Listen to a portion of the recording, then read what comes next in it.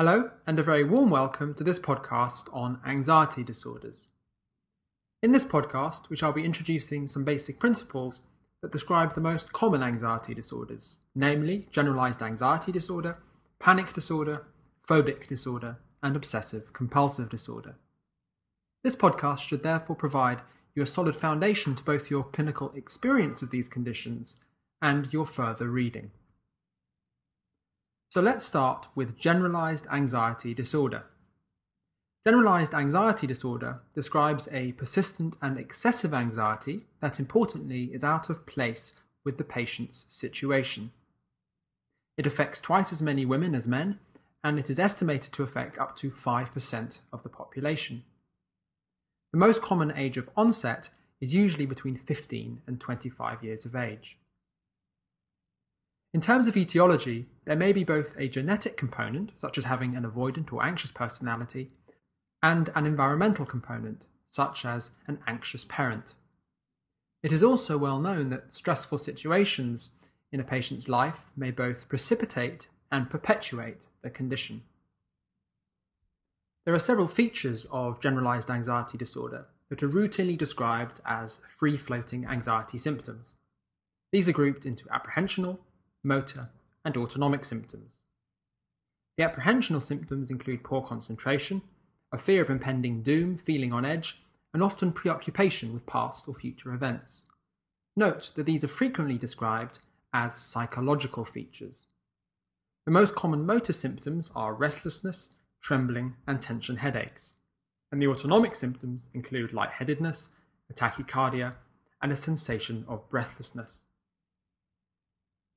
In more severe cases, patients may experience what we term depersonalization and derealization. Depersonalization occurs when the patient feels a loss of their sense of identity, i.e., they feel that they aren't real or have an altered sense of reality of themselves. Derealization, on the other hand, is when the patient's surroundings don't feel real, rather than themselves. There are a lot of disorders that can present with the features described above and these may be other psychiatric conditions or indeed physical conditions. Other psychiatric disorders include panic disorder, phobic disorder, OCD, schizophrenia, and drug withdrawal symptoms, in particular delirium tremens following alcohol cessation. Important physical or medical conditions that must be excluded include pheochromocytoma, thyrotoxicosis, and worries about a specific underlying physical problem that, aren't un, uh, that are unexpressed, for example, um, a breast lump there are a variety of components to the management of generalized anxiety disorder. Some straightforward psychological treatments that may be appropriate to less severe or highly motivated patients include basic counseling and self help books, and I think it would be fair to say that these may be extremely effective. In addition, cognitive therapy, or CBT, may also be beneficial in helping patients identify anxious thoughts and help curtail continued spiraling of these thoughts. Anxiety management techniques such as relaxation techniques and tapes may also be used. Moving on to drug therapy, this should ideally be divided into short acting and long acting treatments. The short acting drugs are used to rapidly treat the onset of anxiety symptoms. Benzodiazepines such as alprazolam or diazepam are very good at treating symptoms of anxiety, but should not be prescribed for more than four weeks due to both their sedative effects and the risk of dependency. The long acting treatments are often used if first line psychological therapy has failed. Most commonly, SSRIs or SNRIs, such as venlafaxine, are used, and these are better tolerated and now probably more widely used than the tricyclic antidepressants and MAOIs. For additional symptom control, beta blockers may also be used to treat the autonomic symptoms of anxiety, very occasionally, low dose antipsychotic medications may be needed. So let's move on now to talk about panic disorder. This is a condition that is characterized by periods of very severe anxiety. Various fears occur, but a fear of dying or losing control are cardinal features and are often accompanied by severe physical symptoms such as breathlessness, chest pain, dizziness, palpitations, and tremor. If such attacks occur during specific situations, patients often then develop an avoidance of similar situation and consequent phobias. Panic disorder, just like generalized anxiety disorder, occurs more in females than males and are more common than you might expect, affecting up to 1 to 2% of the population. The average age of onset is between 20 and 40 years. It is now thought that there is a genetic component that results in patients having a predisposition to heightened autonomic arousal. As with generalized anxiety disorder, you must always consider the presence of additional psychiatric conditions and other physical ailments. The mainstay of management for panic disorder is CBT, cognitive behavioral therapy, which in this setting is extremely effective, with nearly 100% of patients successfully treated. In addition, as for generalized anxiety disorder, anxiety management techniques can also be used. Drug treatments are less successful here, with a success rate of about 60%, as the condition may return when the patient stops taking their treatment. SSRIs are the second line treatment if CBT fails, though clomipramine, which is a tricyclic antidepressant, can be extremely effective. Phobic disorders are defined as inappropriate situational anxiety together with avoidance. There are three main types to be aware of. These are agoraphobia, isolated or specific phobias, and social phobia. Agoraphobia literally translated a fear of the marketplace, which essentially means fear of crowds or open public spaces.